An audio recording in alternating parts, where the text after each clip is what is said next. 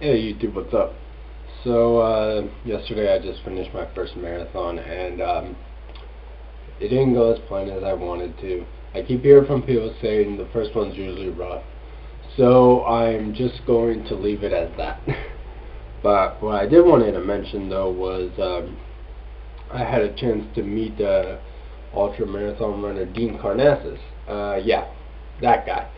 50 marathons, 50 consecutive days who's run what close to like what 300 miles, whatever, nonstop. Um, of course, runners over the years have given him a bad rep for being a self-promoting, arrogant douchebag, while hobby joggers love the guy.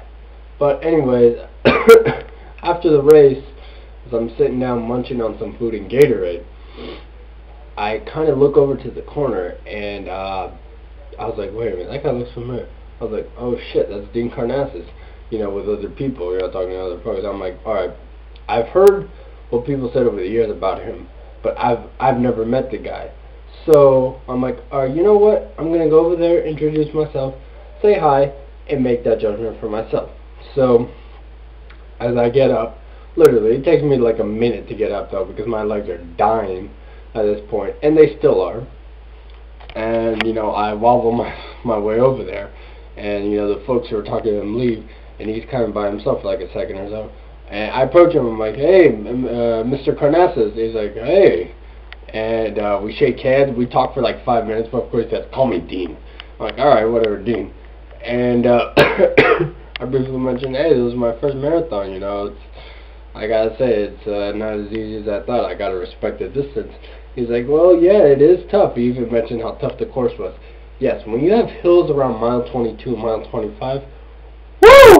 It believe me, your legs get beat up.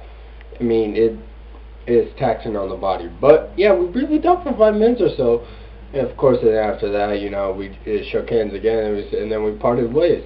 And what I noticed though about the guy, he's very nice. He's, you know, seemed down to earth.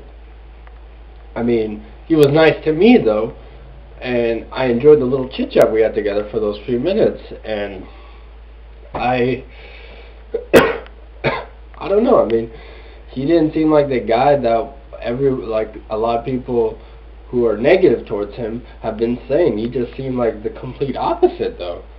So I don't know, but that was a good experience. Um, but yeah, I got a pretty cool medal, as you can see, and uh, I got really bad uh, foot blisters though. But I can show you a pic though right after this video.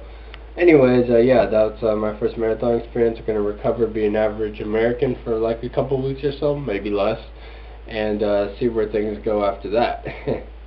but yeah, marathon. First one's in the books.